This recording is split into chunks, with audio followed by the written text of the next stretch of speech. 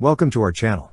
Don't forget to subscribe and put likes, because your support is important for us. And here we go. The British Ministry of Defence, MOD, and the Defence Science and Technology Laboratory, DSTL, have accomplished a significant feat by conducting a successful test firing of the country's inaugural high-power laser weapon, named Dragonfire, marking a notable advancement in defense capabilities. Installed on the sturdy Wolfhound 6x6 armored vehicle, this state-of-the-art weapon system showcased its precision and potency by engaging aerial threats during a demonstration. The Endeavour, known as the Dragonfire Laser Directed Energy Weapon, LDEW, program, is led by DSTL in collaboration with major industry players on behalf of the British MOD. This initiative employs a concentrated beam of light to eliminate threats, offering a cost-effective and efficient alternative to traditional ammunition.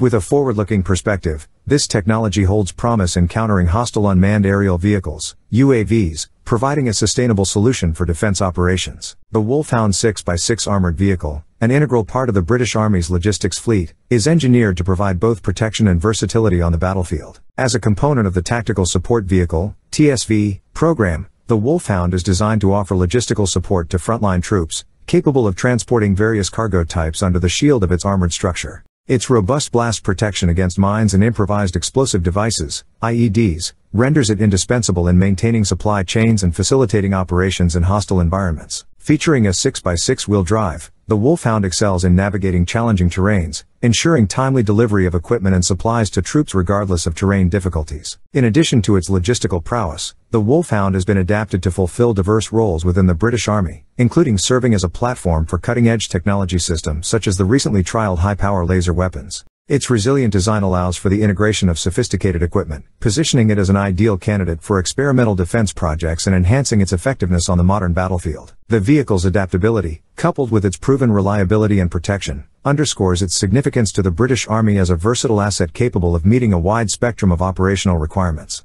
Raytheon UK has played a pivotal role in this technological advancement by introducing its high-energy laser weapon system to the UK, collaborating with a consortium of British suppliers, including Frazer-Nash, NP Aerospace, LumOptica, Blighter Surveillance Systems, and Cambridge Pixel. Raytheon's 15 kilowatt laser system has been integrated into the MOD's land demonstrator program. Currently undergoing installation on a UK Wolfhound armored vehicle, the system will undergo user experimentation by the MOD. Situated in Coventry at NP Aerospace, the system's integration encompasses a radar from Blighter Surveillance Systems and a command and control framework developed by Raytheon UK in Harlow. Following drone tracking trials, the system will proceed to DSTL Porton Down for a live fire system acceptance test before being deployed with the British Army in September for further experimentation. Raytheon UK's laser system boasts versatility and portability, capable of being mounted on various platforms and interfacing with other air defense systems as per operational requirements. To date, eight high-energy laser weapons have been supplied to the U.S. military, proving effective against over 400 targets during 25,000 operational hours. The successful integration in Coventry and the live-fire tests of the Dragonfire program underscore the practicality and efficacy of laser technology in modern defense strategies. This achievement represents the realization of long-standing aspirations within the defense industry to leverage laser-directed energy weapons.